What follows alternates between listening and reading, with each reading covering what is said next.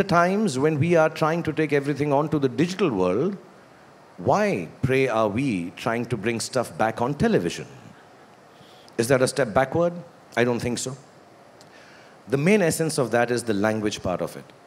मुझे ऐसा लगता है जो उदय साहब ने भी कहा कि हम लोग कहीं ना कहीं पर हमारी अपनी भाषा अब हमारी भाषा थोड़ी मिक्स हो चुकी है मतलब हिंदुस्तानी सी हो गई है इंग्लिश भी है उसमें हिंदी भी है स्पोकन जो भाषा है वो इजी हो गई है लेकिन कहीं ना कहीं पर हमारी भाषा के अंदर इंटेलेक्चुअलिज्म जो है मैं ये नहीं कहूँगा एक्सेप्टेबल नहीं है मुझे कभी कभी लगता है समझ भी नहीं आता है क्योंकि इतने भारी भरकम वर्ड होते हैं एक एंटरटेनमेंट चैनल को ये स्टेप लेने के लिए sorry Chris and Juliet, I'm just saying good things about you when I'm speaking in Hindi. So, yeah, yeah.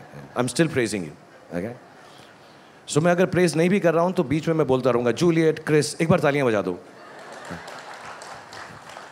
See, I didn't say anything good about you, just made them clap. That's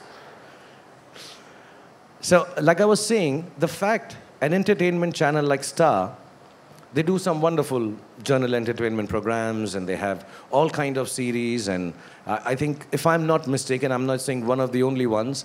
Uh, many years ago, I remember Uday Saab met me and he started a program called Satyamev Jayate.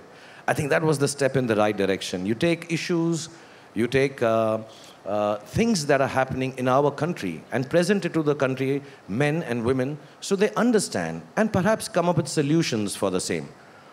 और इसलिए मुझे ऐसा लगता है कि star पे Ted talks India नई सोच का आना बहुत अहम बात है वो इसलिए कि वो हमारी भाषा में होगी वो एक ऐसा प्लेटफॉर्म होगा जहाँ पे हमारे देशवासी हमारे हिंदुस्तानी लोग मर्द और औरतें और जवान लोग a country which perhaps is the youngest actually is the youngest country in the world gives you an opportunity, a stage, a platform, giving an opportunity to our youngsters to come and share ideas, small ideas, which will change not only our country, but hopefully the rest of the world too, for the better.